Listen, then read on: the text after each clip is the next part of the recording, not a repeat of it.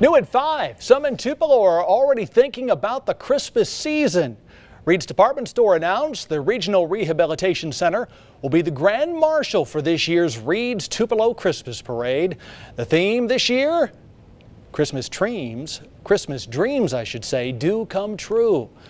Regional Rehab provides a wide range of services and therapies locally at absolutely no cost. They've done that for 60 years. It's just such an honor to go out there and represent regional rehab and you know I'm I'm just one kid and they've helped countless others and uh, I'm you know I'm glad that they picked me to represent them but you know, I'm thankful for them. I'm also thankful for Reed's. The Christmas parade will roll December 6th along Main Street in downtown Tupelo.